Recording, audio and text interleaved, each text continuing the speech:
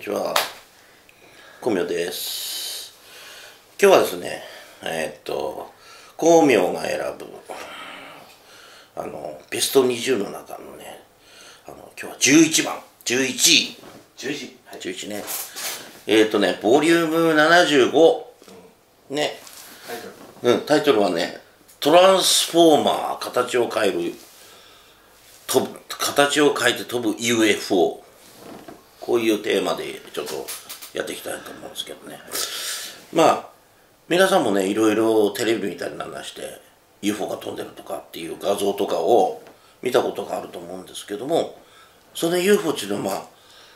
一つの画像に対して一つの形じゃないですか、例えば。丸い形に UFO が、まあ、光ったってオレンジ光ったとか紫光ったとかあってそこから分裂したっていうのはよくねあのーテレビでもやってる要は形を変えない。そう形を変えないのね。そう。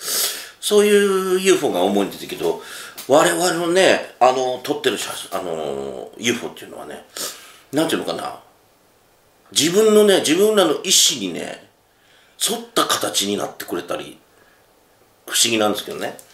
まあ、例えば願い事をしたら叶えてくれる神様が叶えてくれるっていうようなそういうニュアンスではないんだけどもあの例えば戦闘機がバーンとこうなんかこう練習してる場面を見見た時にわあすごい戦闘機すごいなかっこいいなとかって思った瞬間にその UFO が映り込んでくれるんですね。で最初はそんな何もそんな気にしたような形のまあ普通の黒いかいつもの形なんですけどそれがみあの取っていくこう段階を踏んで取っていくにつれて形をね変えて戦闘機になってみたりこうなんていうんですかねロボットみたいになってみたりとかってちょっとなんかこうそんなことないだろうっていうような形に変わっていくうんそれがもう現にねあの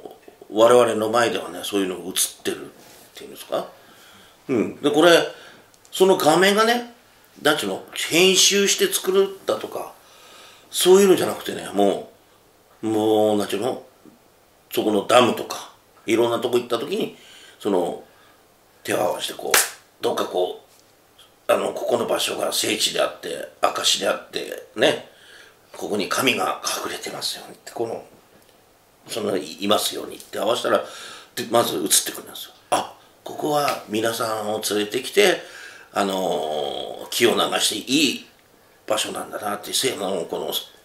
なんていうのかな清らかな場所でねみんなが来て皆さんがこう得する場所なんだなっていうのが映ってたら分かるんだけど。だけどそれが変形してね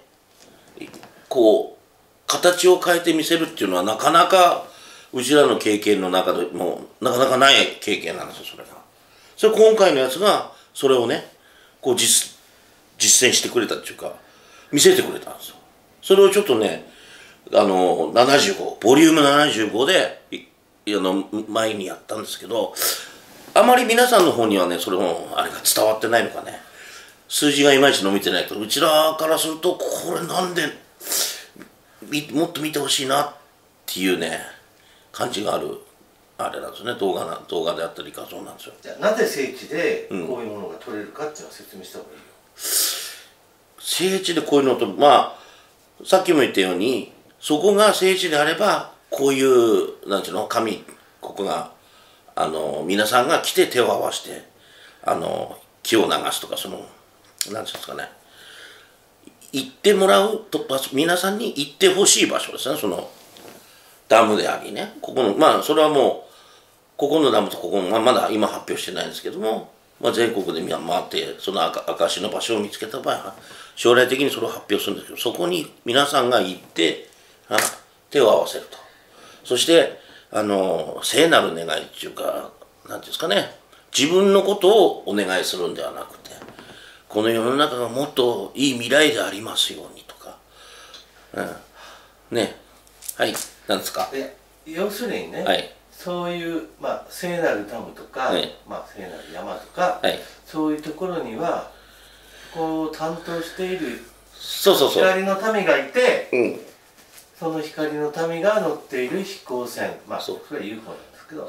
それがまあいろいろな光の民がそれぞれまあいろんな種類があるからそれぞれ乗ってる飛行船も違うんだよってそうそうそう。そういうことでしょ？そうです、うん。だから形が違うんですよ、そう。うん、で今回のやつは形は違うにしてもあまりにもこういろんな形に変形して見せてくれるっていうまあ特殊なその中でも特殊なこの写真が70ボリューム75なんですよ。ね。それをねちょっとお見せしてね。ねはい。もう一つええええ。説明しておかなきゃならないのが、うんえなぜ形を変形することができるのっていうことを、うん。あのはい、説明しておかないとならないからあ今回でね初めて見る方もいらっしゃるしね。もし見ている方が見ればわわ、ね、分かることなんだけど今回初めて見る人たちのためにはその辺を説明しておかなきゃならないんですけどね。この光のための船っていうのはね普通の UFO と違ってね形大きさねいろんなものを変形させてたりできるんですよ。高次元な UFO だからあの今までテレビで見てる UFO っていうのはどっちかっていうと物質的三次元的なそういうような UFO が皆さん見てる UFO だと思うんだけどこの UFO に関してはあの物質的じゃなくてちょっとなんかこうね。要は高次元高次元のそう。だから、うん。形を自由に変えることができるんだよと、えいうことですね。だから映ってる最中にも形を変えてることもあるよね。そうそうそう。ね。そういうことですね。そうなんです。い。いです、じゃあいきます？ちょっと、うんもう回ってますね。うんこれちょっと一回見てもらって。